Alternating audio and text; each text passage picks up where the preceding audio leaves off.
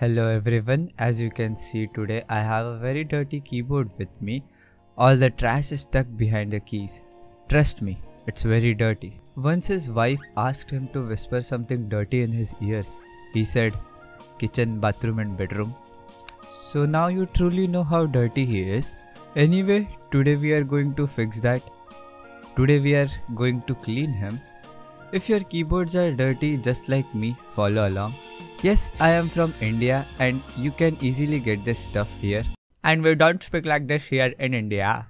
First we are going to take this key plucker out.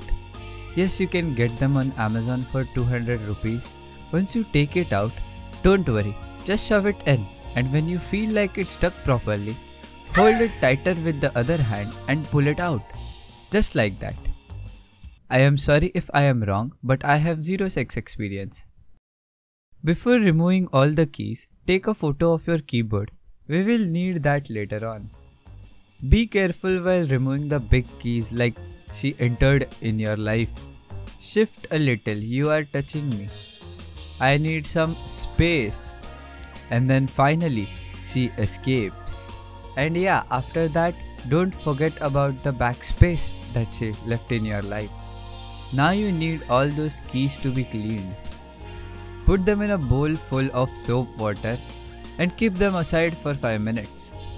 Meanwhile, get your naked keyboard at front and just blow him.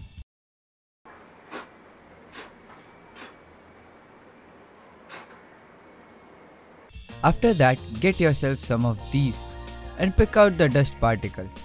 This is called a plucker and you can buy them from any store near you.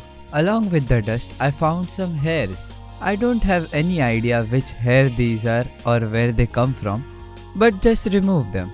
Once you have finished taking out the comparatively bigger dust particles, get yourself some isopropyl alcohol, also called as spirit. This is the stuff which they put on you before injecting. They use cotton to reveal your veins and then they bring out the big guns. After taking out some of that spirit in a bowl, Get yourself some earbuds. Dip the earbuds in isopropyl alcohol a little and wipe it over all the dusts and weird marks. One friendly suggestion while doing this, don't drink the isopropyl alcohol. It nowhere comes near to taste like alcohol. Now you may ask, how do I know that? Well, that's a whole another story. Let's get back to cleaning our keyboard. Your keys are now done soaking in the water. Bring them back, dry them properly and then fix them. It is very necessary to clean your keyboard once in a while. If you don't clean it for a very long period of time, it will look something like this. And that's how you clean your keyboard. It only works with mechanical and semi-mechanical keyboards. I appreciate that you have watched the whole video. Mayonnaise on an elevator. It's going up, so see you later.